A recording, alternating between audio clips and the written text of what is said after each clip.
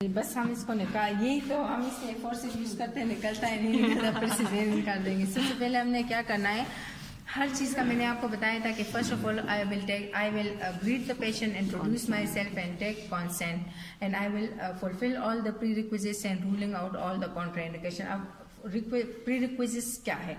सबसे पहले आपको पता होना चाहिए कि इंस्ट्रूमेंट्स क्या है और इंस्ट्रूमेंट्स हम क्यों यूज़ करते हैं? Instrumental delivery we do to assess normal vaginal delivery why when there is difficulty in delivery of the foetus ठीक है, उसका हेड नहीं डिलीवर हो रहा है तो I will go to assess normal vaginal delivery by doing instrumental delivery ठीक है? उसमें क्या करना होता है कि इंडिकेशंस होती हैं इंस्ट्रूमेंटल डिलीवरी की। इंस्ट्रूमेंटल डिलीवरी टू टाइप्स के इंस्ट्रूमेंट्स है हमारे पास, या विक्यूम या फोर्सेप ठीक है? फिर फोर्सेप्स में हमारे पास तीन टाइप्स के फोर्सिप्स हैं। एक है हमारे पास रोटेशनल फोर्सिप्स जो कि की लैंड है, जो कि हम यूज़ नहीं करते ऑब्सिलीट हो गई है, ठीक है? वो फोर्सिप्स ऑब्सिलीट हो गए हैं, वो नहीं यूज़ होते अभी। दूसरे टाइप के फोर्सिप जो है तो वो है नॉन रोटेशनल फोर्सिप्स और एक टाइप के फोर्सिप्स है, वो है पाइपर्स फोर्सिप पाइपर्स हम ग्रीश में यूज़ करते हैं। जो नॉन रोटेशनल है, उसमें थ्री टाइप्स है। उसमें लो केविटी मिड केविटी और आउटलेट फोर्सिप्स है। आउटलेट फोर्सिप्स को रिग्लिस फोर्सिप्स कहते हैं और ये रिग्लिस फोर्सिप्स है। अब हम इसको डिस्कस करते हैं, ठीक है? अच्छा फोर्सिप डिलीवरी से पहले क्या करना होता है? प्री रिक्विजिट्स को फुलफिल करने होते हैं by doing per abdominal examination and per vaginal examination ठीक है?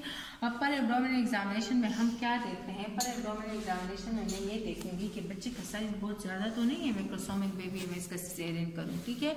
और फिर जब मैं उसका एग्जामिनेशन करूँगी तो मैं ये देखूँगी कि हेड टू बाई फाइव अगर फोर बाई फाइव पेल्पेबल है तो इसका मतलब है वो इंगेज ही नहीं है, वो मेल प्रेजेंटेशन है कोई तो वो तो नॉर्मल डिलीवरी पॉसिबल ही नहीं है।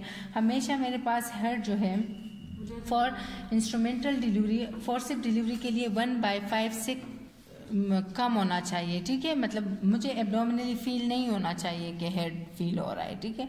जनरली वो इसके स्पाइन के लेवल से ज़ीरो स्टेशन से कम पे होना चाहिए नीचे होना चाहिए। ठीक है ज़ीरो पे मैं वैक्यूम लगा सकती हूँ मैं फोर्सिप्स नहीं लगा लगाती। ये बात भी याद रखो ये एंड तक किसी को बात क्लियर नहीं होती कि मैंने ज़ीरो पे फोर्सिप्स लगाने हैं कि नहीं लगाने। ज़ीरो पे फोर्सिप्स नहीं लगाए जाते ज़ीरो से कम पे फोर्सिप्स लगाते हैं। ज़ीरो से नीचे होगा तो मैं फोर्सिप्स लगाऊँगी।